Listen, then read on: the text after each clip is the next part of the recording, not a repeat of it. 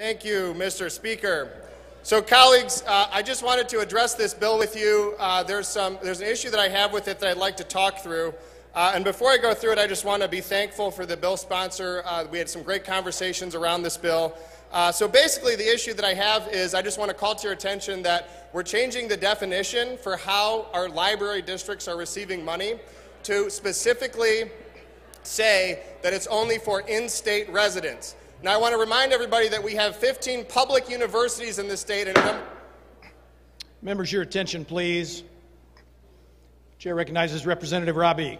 Thank you, Mr. Speaker. We have 15 public universities in the state, not to mention our independent universities, which each attract a number of out-of-state students. So a community like mine in Ann Arbor, where we have a student body of over 40,000, and a good chunk of those students are technically out-of-state students a library district like mine would be adversely impacted if you were to take away funding that would otherwise be coming on a per capita basis to our library districts uh, and exclude the students that are not quote unquote in state students.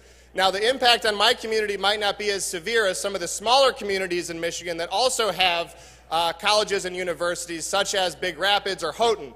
For example, in Houghton at Michigan Tech, of the student body, about 30% of the students are not technically in state residents.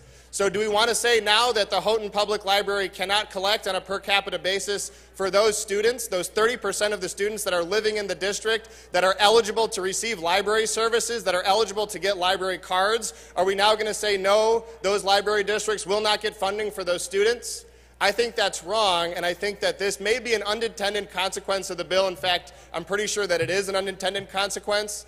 So I urge a no vote today. Uh, you know, I don't necessarily disagree with the intent of the bill. I disagree with what the bill is actually doing if you read the plain language of it. I hope that this can get fixed in the Senate and clarified. My amendment would have proposed language to, uh, to clarify what in state actually means.